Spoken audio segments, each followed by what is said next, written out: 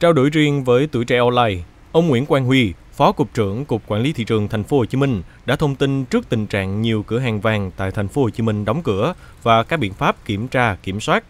Theo ông Huy, Cục Quản lý thị trường thành phố đã yêu cầu các đội quản lý thị trường thực hiện nghiêm biện pháp nghiệp vụ giám sát chặt chẽ các nơi có liên quan đến hoạt động kinh doanh vàng, đặc biệt là những trường hợp phải giám sát theo quy định. Mục tiêu nhằm kịp thời phát hiện, kiểm tra, xử lý nghiêm các hành vi vi phạm thuộc thẩm quyền xử lý của lực lượng quản lý thị trường.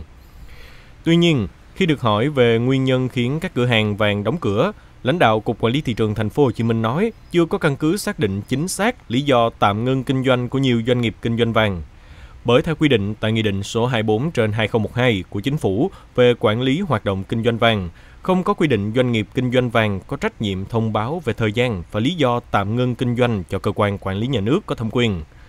Thêm nữa, hiện đang trong dịp lễ dỗ Tổ Hùng Vương và lễ 30 tháng 4 và 1 tháng 5 nên các cơ quan, đơn vị cũng được nghỉ nhiều ngày.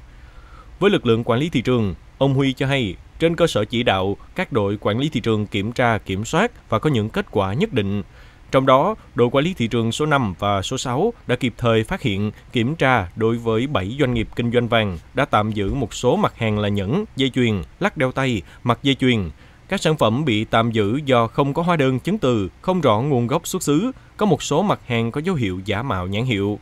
Tổng giá trị sản phẩm bị thu giữ là hơn 180 triệu đồng. Trong đó, lực lượng chức năng sẽ thử nghiệm xác định có phải là vàng hay không. Vụ việc hiện đang được tiếp tục xác minh, làm rõ để xử lý theo quy định.